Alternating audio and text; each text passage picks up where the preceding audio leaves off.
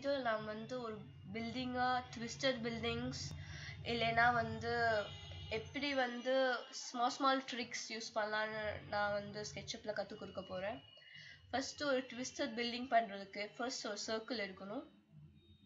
And அந்த circle போட்டதுக்கப்புறம் push tool எடுத்து கொஞ்சம் புல் பண்ணுங்கள் ஓகே இப்போ வந்து சிலிண்டர் மாதிரி இருக்கு.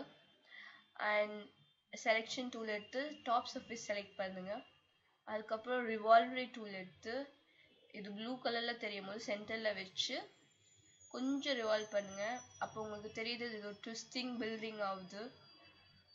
ஸோ லைக் உங்களுக்கு எவ்வளோ வேணுமோ அந்த அளவுக்கு ட்விஸ்ட் பண்ணிக்க முடியும். அதுக்கு மேலே இருக்கிறத வந்து கூட நீங்கள் ஸ்ட்ரெயிட்டாக வச்சுக்கலாம். லைக் இது. ஸோ அண்ட் நீங்கள் வந்து மூவ் டூல் வச்சு நிறையா வந்து ட்ரிக்ஸ் பண்ண முடியும். லைக் மூவ் வச்சு ஷேப்ஸ் ஈவன் புஷ் மாதிரியே யூஸ் பண்ண கூட முடியும்.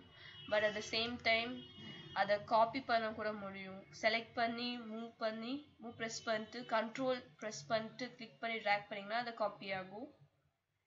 இல்லைன்னா ஓகே அண்ட் தென் நெக்ஸ்ட் வந்து மூவ் வச்சு வேற என்ன சின்ன சின்ன ஆல்ட்ரேஷன்ஸ் பண்ணலான் இருக்கேன். இப்போ ஒரு ஸ்மால் ரெக்டாங்கிள் வரைஞ்சாச்சு. அதை புஷ் வச்சு புஷ் பண்ணி பாக்ஸ் ஆயிடுச்சு. இப்போ வந்து திருப்பி மூவ் டூல் யூஸ் பண்ணலான்ட்டு இருக்கேன். ஸோ லைக் இந்த ஒரு லைனை செலக்ட் பண்ணிட்டு மூவ் அதே மாதிரி பாருங்கள் ஹோல் ஃபேஸ் சேஞ்ச் ஆகும். அதே மாதிரி இங்கேயும் இந்த லைன் செலக்ட் பண்ணிட்டு மூவ்